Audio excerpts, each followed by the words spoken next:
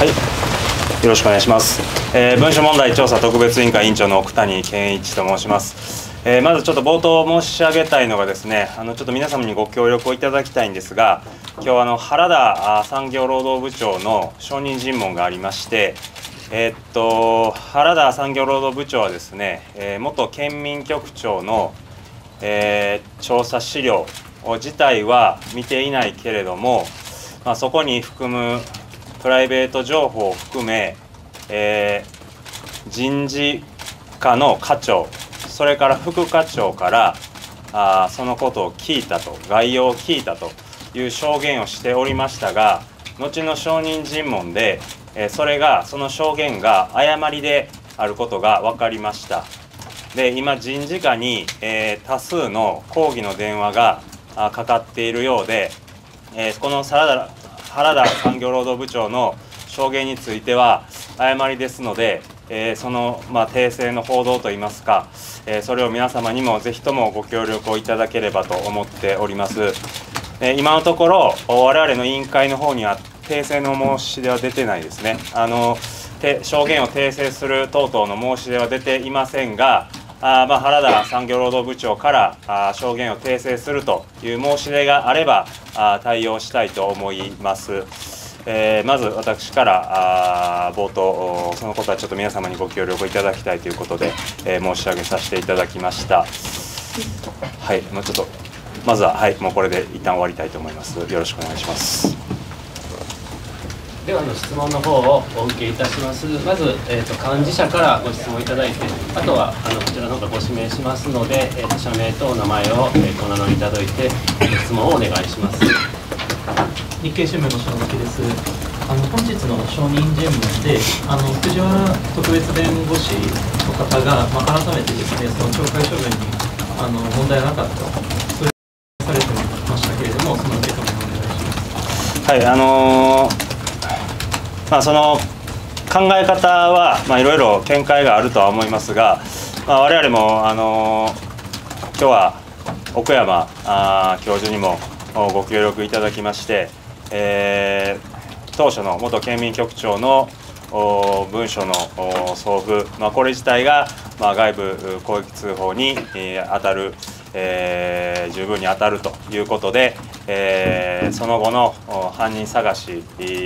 のようなですね、えー、この調査あこれがですね非常に問題だというようなご意見をいただいたというふうに認識しております。まあ、そういったことに鑑みると、えー、藤原弁護士の方では問題ないということをおっしゃってはいますが、まあ、我々としてはそこはあしっかりこれからの証人尋問もありますけれどもそういった事実を踏まえて、えー、我々としての見解をしっかり出したいとあ今考えてます。あとあの原田産業部長の、えー、証人尋問ですがではあのコーヒーメーカーの受け取りの件からあのまあ、公益通報の話まであの幅広くあったと思うんですけれどもその中で特に重要だと思われた証言もしあれば教えてください。そうですねちょっと私自身ちょっと今日は広域通報に関連するところにちょっと注目をしてお聞きをしていたんですがあのコーヒーメーカーのところは、まあ、やはりその原田部長のご説明の中でもやはり普通に考えると不自然なところもやはりあると思います。で今日まあ、あの冒頭申し上げましたけれどもそうやって証言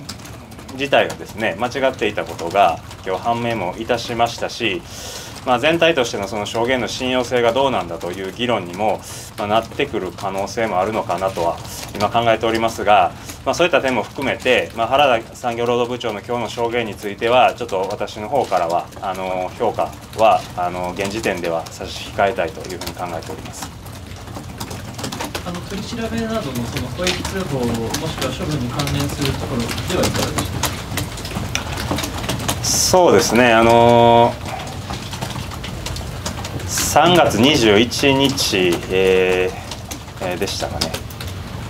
の知事また片山当時の副知事らの協議に、えー、原田産業労働部長があ一緒に協議を入っておりました。でその中でですね、あのー、まあ、文書の内容自体も調査をしようということはああったということですけれどもやはりその客観的な証拠を見てみてもですね、えー、実際にその文書の内容の聞き取りがなされているのは我々の資料では4月2日であります。で3月21日の次の日にはですねメールの調査で、えー、この文書の作成者を特定しようという動きをしております、まあ、そういったことに鑑みるとやはりこの3月21日のまあ大きな議題というものはあこの文書の告発文書の作成者を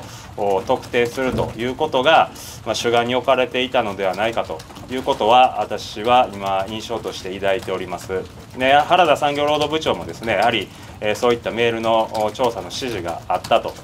えー、っとすみませんちょっとこれが今ちょっと整理できないですけど知事から調査の指示があったとは言ってたと思いますので、まあ、それがあの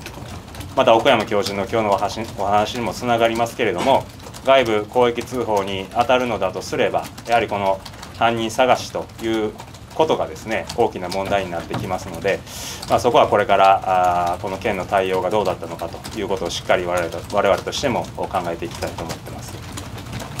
次私から最後ですけれども、えーまあ、今日秘密会もあったと思います。でその内容をですね話せる範囲であの教えていただけますでしょうか。秘密会については今日はあの公益通報並びに贈答品の調査ということで、えー、それにまつわる商品をお呼びしたということであります。はいでまあ一つこれはまあこれもあのまた整理が必要なのでちょっときちんとあの今日の証言をしっかり精査してから発言すべきだと思いますのでこれから言う私の発言はちょっと誤りを含むかもしれないということで、まあ、お聞きをいただきたいと思いますけれども、えー、っと3月例えばですねあの公益通報の話で言いますと3月23日に知事また片山副知事らとですね、えー、職員さんの間で、えー、会議が行われております。でその後ですね3月24日の時点で、えー、人事課の方はですね第三者委員会要は第三者機関で調査をするということで案を作成しておりましてそれをどう証言をお聞きしますと、えー、しっかりと上の方には伝えているようです。まあ、その後第三者機関まあ、実際に設置されなかったわけですけれども、まあ、誰がどういった経緯でこの第三者委員会が設置されないことになったのかというところまでは、えー、今日のところでは分かりませんでしたけれども、えー、当初の段階からあ人事課の方ではあ第三者委員会で今回の文書問題を、えー、調査するということを、まあ、考えていたということはあ今日一つ判明したのかなと思います。今日はあのその程度にとどめたいと思います。はい。第三者機関の調査の案に関しては上にも伝えていたというのは知事にも伝わっていたえー、っとそこがちょっとよく分からなくてですね、あのー、まあ、おそらく人事課の方からあ当時の総務部長に、えー、その案を示しているということであります。ありがとうございます。朝日新聞の滝坪と申します。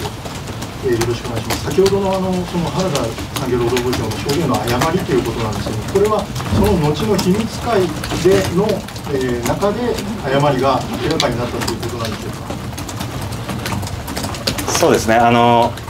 そういうことです。あの我々の委員会の方には証言を訂正したいとか、そういう申し出は今のところ一切受けておりません。で。あの後秘密会で承認尋問実施されましたけれども、まあ、そういったところの場で、えー、そういった話があ出てきましたで原田産業労働部長はどうやらあその証人に対してですね、えー、自分の証言が誤りだったと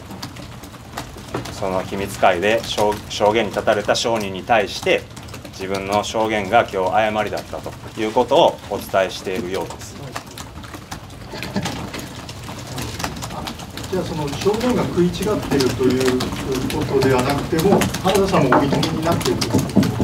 そうですね。明確に誤りだということです。わかりました。あ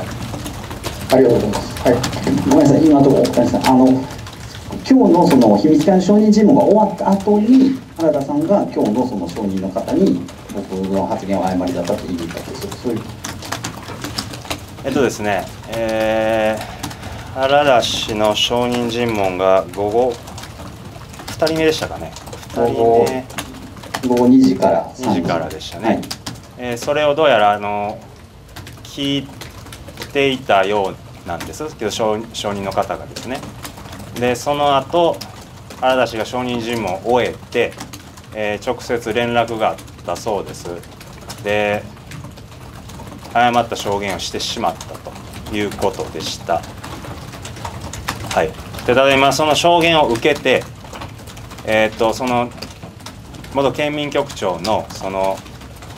まあ、個人情報を含むその調査内容の概要を今その原田さんの証言だと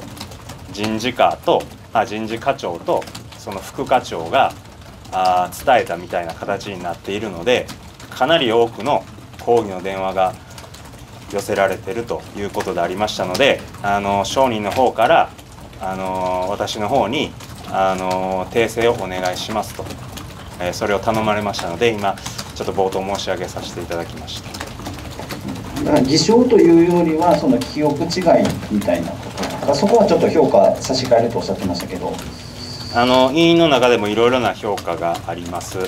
ただあの、まあ、法的アドバイザーのお話を聞いても、まあ、やはりその証人からあの訂正の申し出があれば、まあ、それに応じるべきだろうという話でありましたので今のところまあ偽証であるとか、まあ、そういった話ではないということです。わかりました。ありがとうございます。はい、ではご質問の方いらっしゃいますか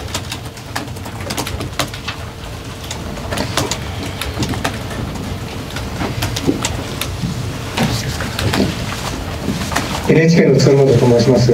冒頭におっしゃったこととある程度かぶってしまうんですけれどもはじめ今日の奥山教授と藤原弁護士の、まあ、話されたこと真っ向から反対する話だったので先ほどは、まあえーしっかり事実を踏まえて見解をしっかり出したいとおっしゃいましたけれどもこの2人の証言それぞれをちゃんと踏まえてということなのかどちらかの証言を重くとかどういうふうにこの2人の見解を今後生かしていかれるんでしょうか？はい、あのちょっと委員会としての見解は今言えないんですけれども個人的な見解でいいということであればあの今申し上げますけれどもあの、まあ、大変藤原弁護士今日証人としてあのご協力をいただいてまずは感謝をいたしておりますがやはりその例えばですね、えー5月2日あ5月2日だったかな公金会でのえーその藤原弁護士の、まあ、意見というかその居酒屋で聞いたような噂話をもとにしたものはあその保護の対象にならないような意見出されてましたけれどもえー今その3月25日の片山元副知事の、まあ、これはあの今音、えー、と事情聴取の音声データ並びにその、まあ、調書も資料として今提供を受けましたけれども、まあ、その内容を見る限りまたそうお聞きする限りですねやはりあの聴取のやり方で当然その片山元副知事にきっちりとした情報源を示すとかそういったことは到底考えられないと思ってます。そういったこともありますしあと次、えー、と3月27日の時点でこの告発文書をしっかりと調べてくださいということを元県民局長が、えー当時の県の広域通報のその、まあ、構成員であるある片山副知事に言っていると。まあ、いろんなこう事実が出てきてますだそういったことを踏まえて、えー藤原弁護士が判断をしておられるとは私はちょっと今日の証言を聞いて考えれなかったというのが、まあ、率直なあ思いです。やはりあの藤原弁護士が例えば元県民局長に直接話を聞いて、えー聞き取りをするとか、えー人事課が出してきた資料だけじゃなくていろんな事情を、えーしっかりあの調査をして出された見解だとは今日の証言を聞いては思えなかったので、まあ、そうだとするとあの岡山教授があ今日ご教示いろいろいただきましたけれどもやはりこれはあの外部の公益通報として、えー、しっかりこの告発者を守る手続きを県としては取るべきだったというふうに私は考えておりますのであ現時点でですけれどもすいません失礼しました。あの現時点ではそういうふうに私はあ印象を抱いておりますのでそういったことを踏まえるとやはりその藤原弁護士が、まあ、懲戒処分が妥当だということを見解として示されましたけれどもそれは、まあ、いかがなものかなというかあ本当にそれが正しいと言えるかというのはあのしっかりこれからまたあ検討していかなければいけないと思っています。はい、以上はい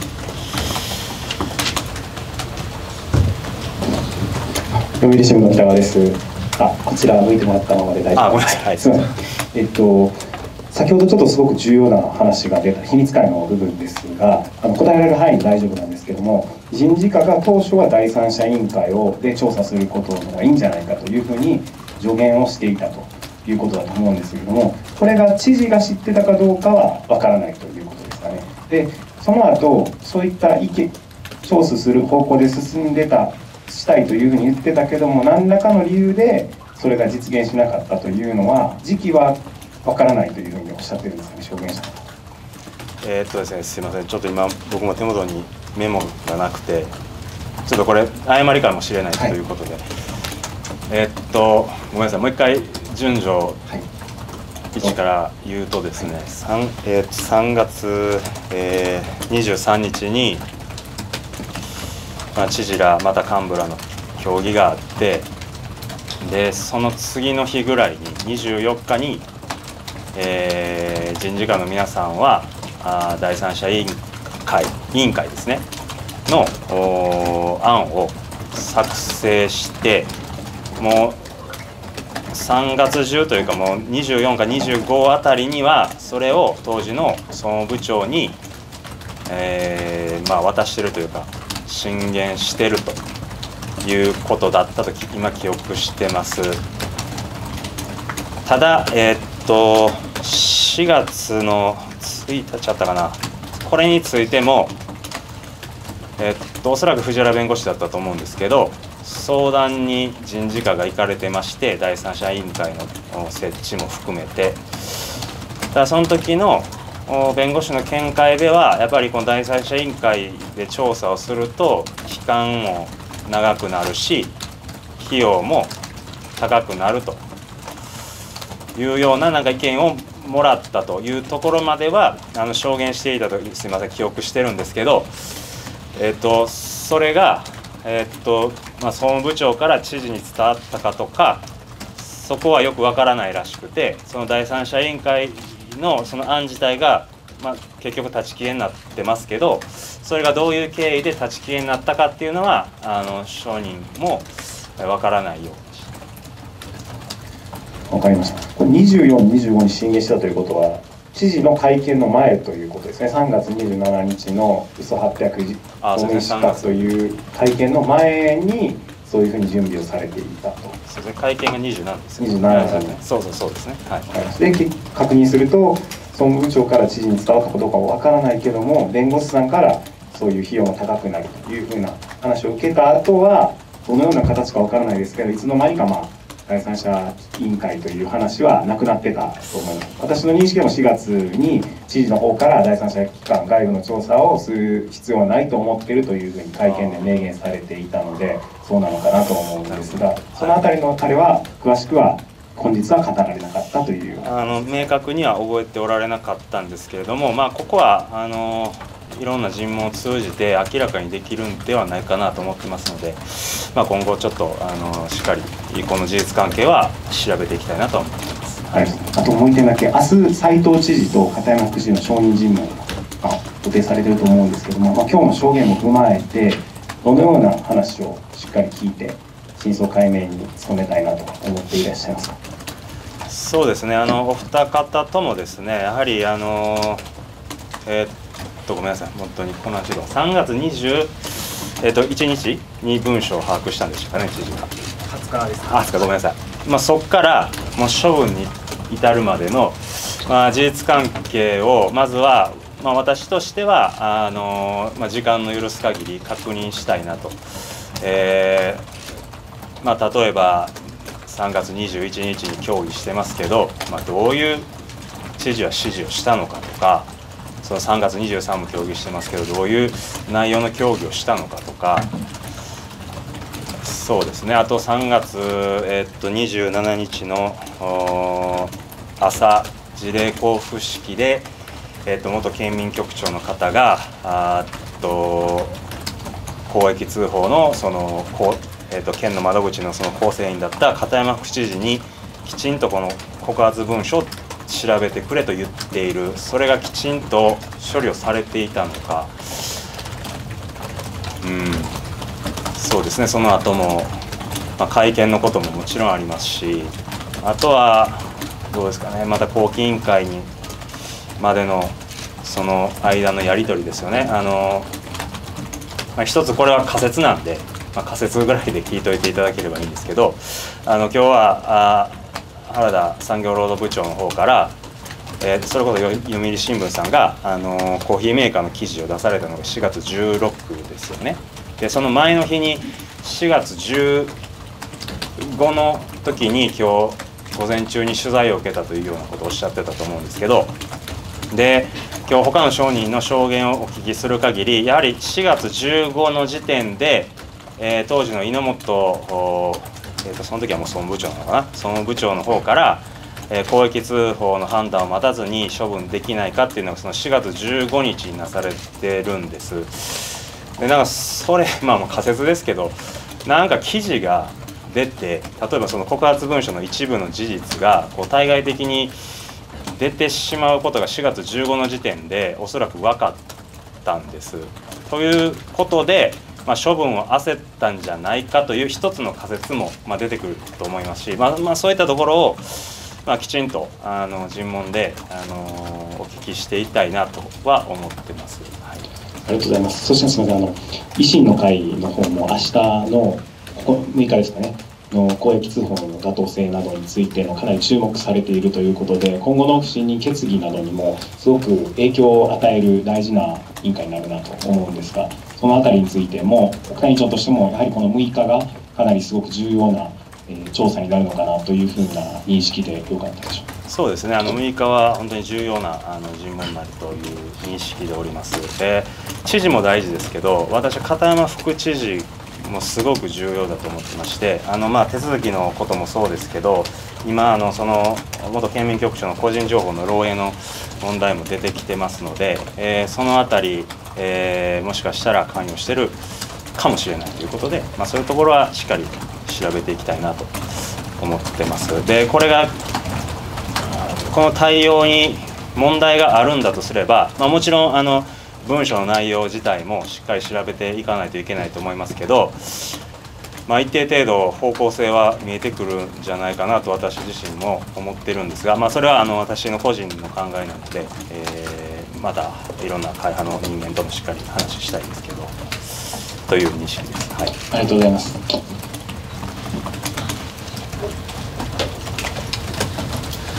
神戸新聞の大島と申します。よろしくお願いいたします。あの2点ございましてですね、あのえっ、ー、と今日あの奥田委員長はいあの原田、えー、議長の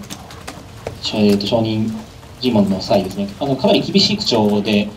えー、質問されたかと思うんですけど、で途中結構その発言を遮るようなこともあったかと思うんですけど、このこれはあの理由こういったやり取りされた理由について単純に私の未熟なあの未熟さが出たなと思って反省してます。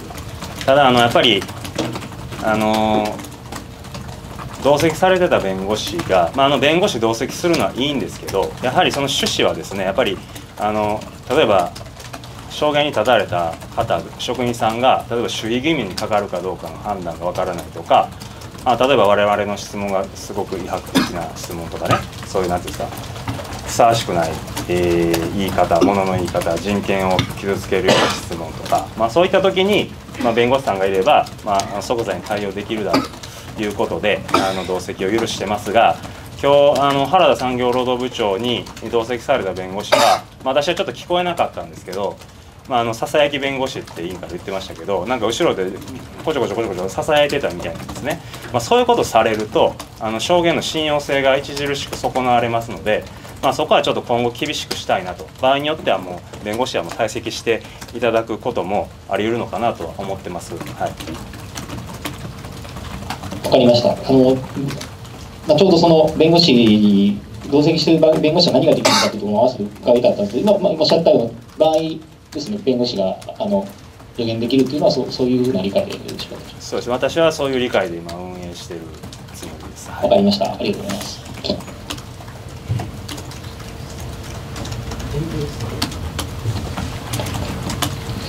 毎日放送の木村です。あの今回のこのまず25日の調査についてなんですけどあの調査マニュアルっていうのがあると思うんですが町内調査手順とか書かれているマニュアルこちらはもう配布はされているんでしょうか？共有はされてるんですか？あえっ、ー、と資料請求はしてますね。あ出てましたか？失礼しました。出てました。すみません。もう、はい、じゃあ委員の皆さんに共有されているということで、はいこの内容って10時半に各班一斉に訪問して調査開始とか秘書や周囲の職員に対しては訪問の目的であの近くに来たのに寄っただけと伝える名誉毀損及び守秘義務違反の調査のためパソコンスマートフォンには触らないようにと告げ事情聴取を開始するパソコンは押収するというのが書かれているということが報道されてるんですけどこれは事実なんですか、えっと内容をあのその確かに見ました。でちょっと今内容資料手元にないのでちょっとそれ今全部言われたことがあの全部間違いありませんとはあの言わないですけど、まあ、そういうおおむねそういう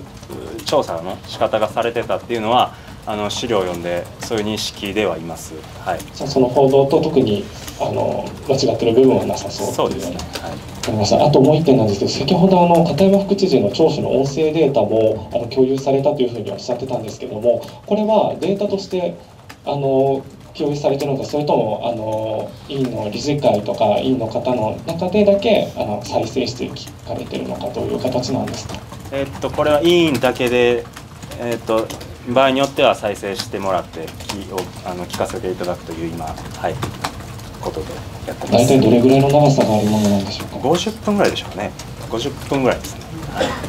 今委員の方はそれはその事務局とかに行ったら聞けるような状態というそうそうですね。そうですね。そうですね。はい。特にデータで配布はされてない？データではいただいてない。あのやはりあの処分の処分にまつわる内容の資料なのであのこれは一番何て言うんでしょう、まあ、秘匿性の高いというか扱いになってますので持ち出しは絶対できないこと今後の今後の例えば明日の委員会とかで再生される可能性もありますかこの音声。いやこれは非公開ですね。これ非公開です。完全非公開です。はい。わかりました。ありがとうございます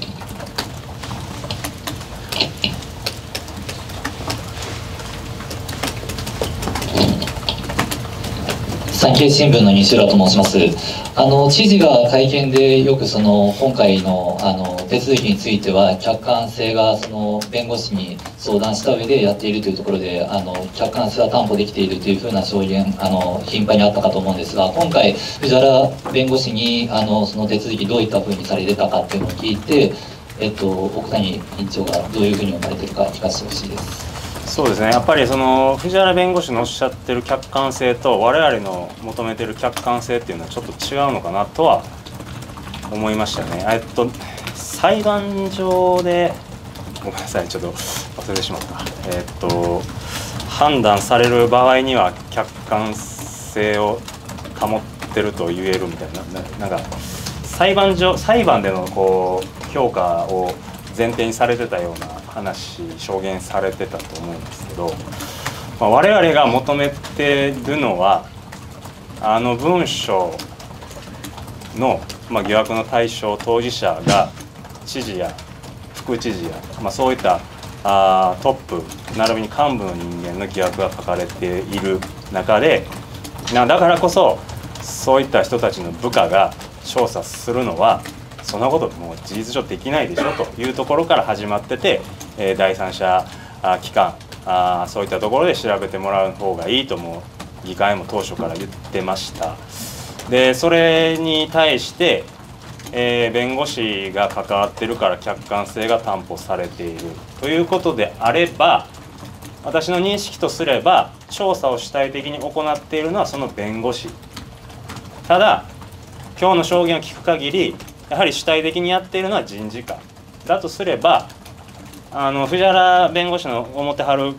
客観性はちょっとごめんなさい僕の中でまだ整理できてないですけど我々の考えてる客観性とは大きく違ってるんじゃないかと今考えてます。はいあともう一つ質問なんですけどもあの今回証人尋問の予定だったあの猪本氏がちょっと今回心身の不調というところであの証人出られなかったと思うんですけどもただ一方でかなりこう今回でいうとキーパーソンというところで証人がまあ聞けなかったというところについてはどうお考えでしょうか？まあそれはあの非常に残念ですけれどもまああのそういったいろんな事情がありますのでそれはやむを得ないと思いますし、まあ、早くあの良くなっていただいて、えーえまた我々の求めにはあの応じていただきたいなとは思ってます。はい、ありがとうございます。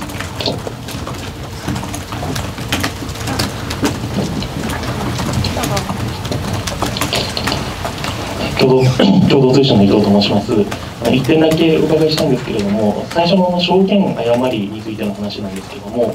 これの課長や副課長から情報提供があったというこの人が間違っているのかそもそも提供自体がなかったのかというところでどうなんでしょうか？えっとですねそこがまだあの本人からお聞きしてないのでわからないんですが今言えることはあ人事課長やあその人事課の副課長が原田産業労働部長にそういった情報提供をしたことは一切ないというさらに上の人から実は提供されていたとかその辺の詳細はまだわからないそこはまたあの改めて承認尋問に応じていただけるのであればあの確認しないといけないとは思っています。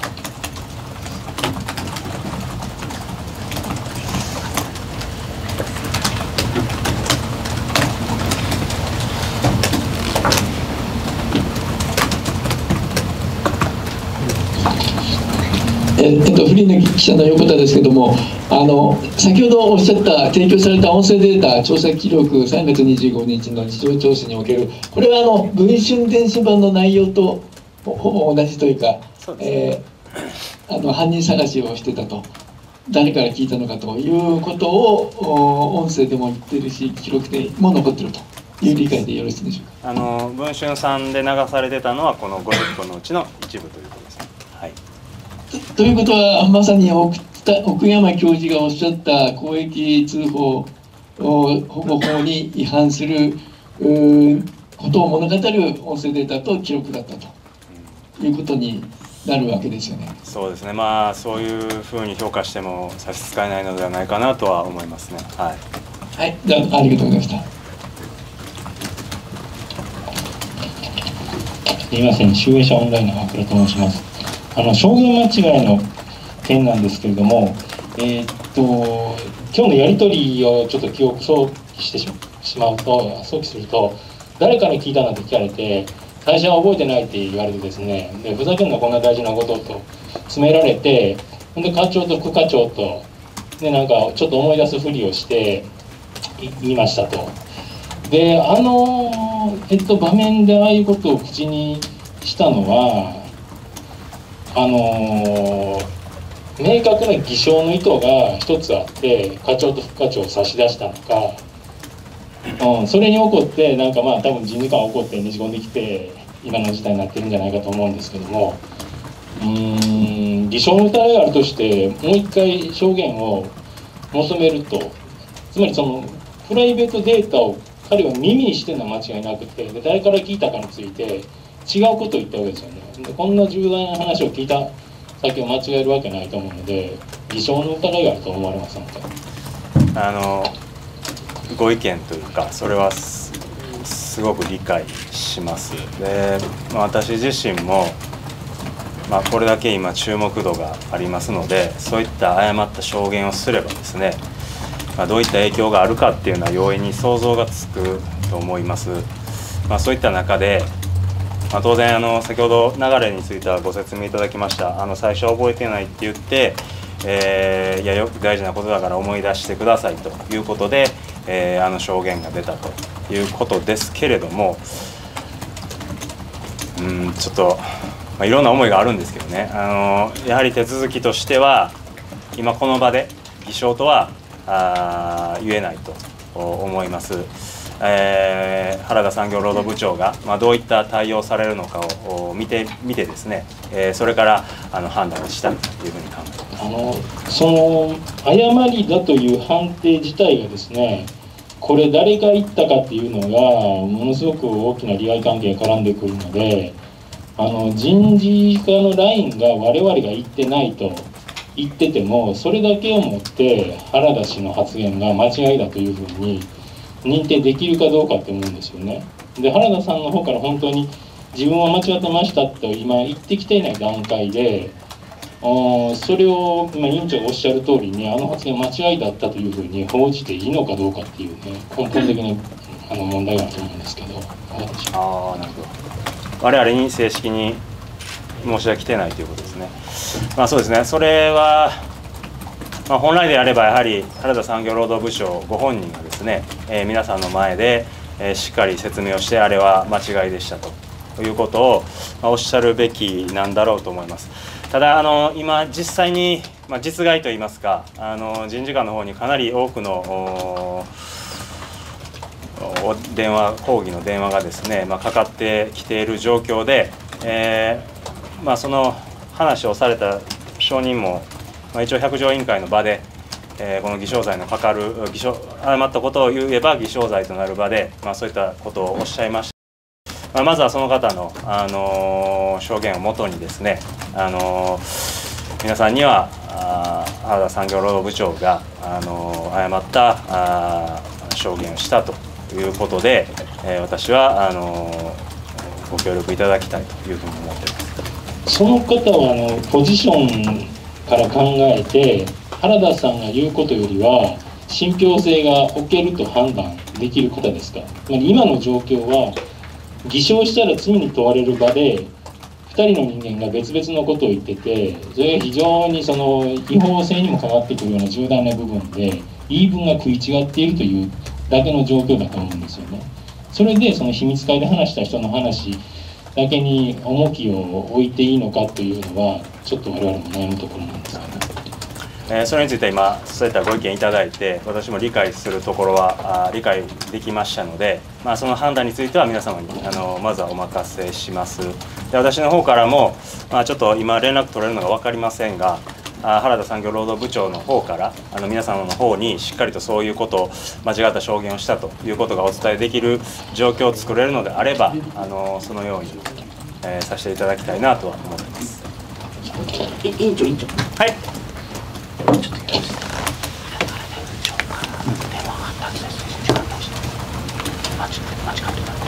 だからそれの証言が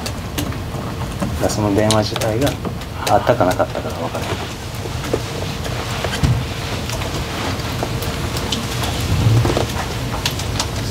はい、すみません。ちょっとお時間近づいてますので、あと2人ぐらいでお願いできればと思います。すみません、産経新聞の木田です。こちらにいただいてるんですけど、あの抗議人事会の抗議の電話っていうのはどういう方からどういう内容のものっていうのは分かってますか？あ、そうです。それはちょっとあの詳しくお聞きしてないんですけど、あのまあかなりまあ、苦渋のといいますか、えー、神妙な面持ちでおっしゃってたので、まあ、かなりそういう、まあ、やはりその情報を漏洩した責任があるんじゃないかという強い抗議の電話なんじゃないかと推測しますけどあの内容は分かります。誰からかもどういう方から？まあ、おそらく、まあ、一般の県民の皆さんななどではないかなとうん原田さんはあの証言尋問の時に思い出しながらあの証言をされたと思うんですけれどもその証言の後にすぐ人事課さんの方にはそれが誤りだったというふうに言える状況だったと思うんですがその理由例えばこういう記録を見て思い出したとかそういう理由は何か言ってるんですか？えーと、頭が真っ白になって間違ったことを言ってしまったとその伝えた方には言ってたみたいです。かえっと、その場で思い出しながら言ったけれども間違った証言をしてしまう頭が真っ白になって間違ってた。でその後思い出したっていうことになるんですか？新しい記憶が。はいあのー、その時の詳しい状詳しい状況というかあどういった経緯でその間違った証言をしたのかというのを、あのー、まあ、わ分からないと言いますか先ほど言ったあの頭が真っ白になって間違った証言をしてしまったというふうにその伝えてるみたいなんです。だから今それ以上に私として分かっている事実はないというのが、はい、現状です。はい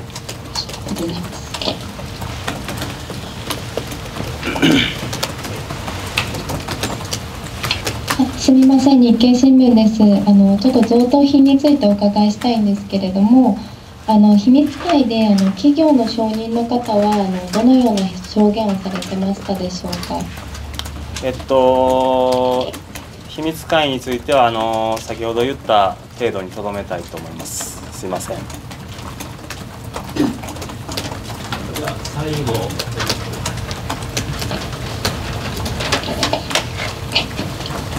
あすみません、関西テレビの宮脇と申します。えーと、原田部長のあの個別の内部調書がないという、まあ、問題のところで、まあ、これまでの証言で、そんなことするわけないやろで、もう終わったというふうにあの言ってたものの、今日の、まあ、証言で、あのまあ、しっかりと事情聴取を受けて、事実確認を話しました。が、なんかこの、まあ、相違をどう判断されるかだったりとか、そこの、まあ、詳しい内容とかってまあ、やっぱり大事になってくるかなと思うんですけど、今後、まあ、委員委員会として、まあ、どうそれ扱っていこうかなって思われてるか教えてください。えー、っとあれ竹内委員が多分おっしゃ質問でおっしゃってたと思うんですけど、あれ言ったのはあの片山副知事らしいです。すみませんあのその後判明しまして間違間違いだったようです。あのえー、っと人事課の方がまあ調査をするに際して片山副知事がまあそんなんするわけないやろと。ただまあ後でその事実関係についてはメモを送るわというような対応だったそうです。あ、そのするわけないよって言ったのは片山知事。そうですね。ありがとうございます。はい。